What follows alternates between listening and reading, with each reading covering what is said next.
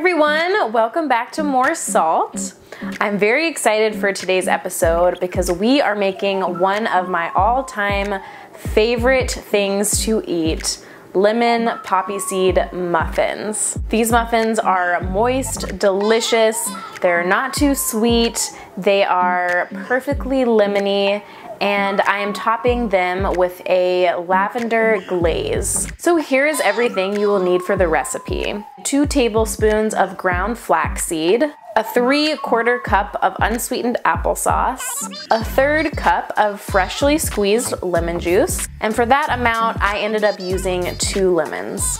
The zest of one of those lemons, half a teaspoon of salt and a teaspoon and a half of baking soda, one teaspoon of vanilla extract, a quarter cup of melted coconut oil, quarter cup of unsweetened vanilla almond milk or regular almond milk, a quarter cup of maple syrup, a third cup of sugar, one tablespoon of poppy seeds, a half cup of rolled oats, a half cup of almond flour, and one cup of whole wheat flour.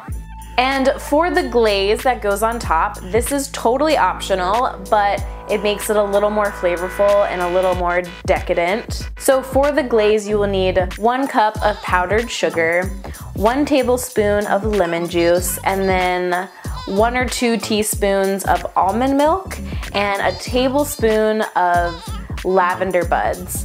Since we're not using eggs, I'm going to be mixing those two tablespoons of ground flaxseed with five tablespoons of water.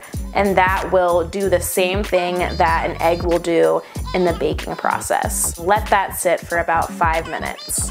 So once your flaxseed and water mixture has sat for five minutes, go ahead and add all the rest of your wet ingredients. So the applesauce, the lemon juice, the lemon zest as well, the coconut oil, the almond milk, the maple syrup, the sugar and the baking soda and the salt and you're gonna whisk that all together for 45 seconds and you're gonna see it foam up a little bit because that's the baking soda reacting with the acid from the lemon juice. So don't freak out, you didn't do anything wrong. This is supposed to happen. So whisk that for a couple of minutes until it's all well incorporated. Then you're gonna take your rubber spatula and add in your flour, your almond flour, and your oats and mix it around until it is just fully combined. And make sure you scrape the sides of your bowl and the bottom of the bowl. You don't wanna miss any flour or oats at the bottom that's lingering there. You want everything to be really nice and coated with each other and really just well